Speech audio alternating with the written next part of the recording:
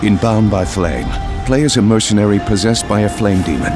The last line of defense against the seven Ice Lords and their dead army.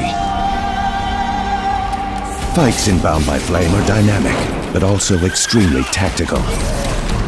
You will develop three combat styles through three skill trees.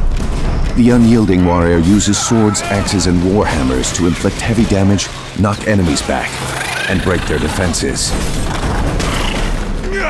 The stealthy ranger uses dual-wield daggers to stab enemies in the back and thin their ranks, before locking them in a fast-paced combat style that favors raw damage. Skilled rangers will command time itself, obliterating their foes in the blink of an eye.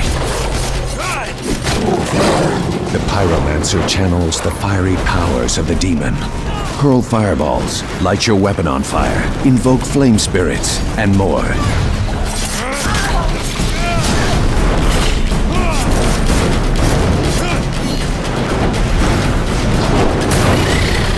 Explosive traps and crossbows will let you ambush tougher enemies and keep them at bay.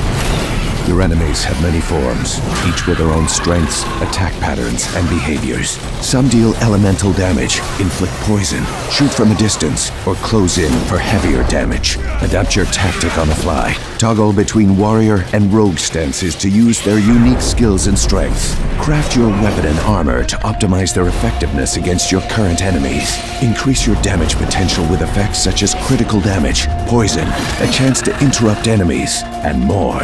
Your chosen companion will also be a decisive requirement for victory. You need a defensive healer? An unyielding tank? An aggressive sorcerer? Or an elusive archer? The toughest enemies will require coordination, discipline, and skill to be vanquished. The Ice Lords will not give you a second chance, so do not falter. The punishment for failure is death.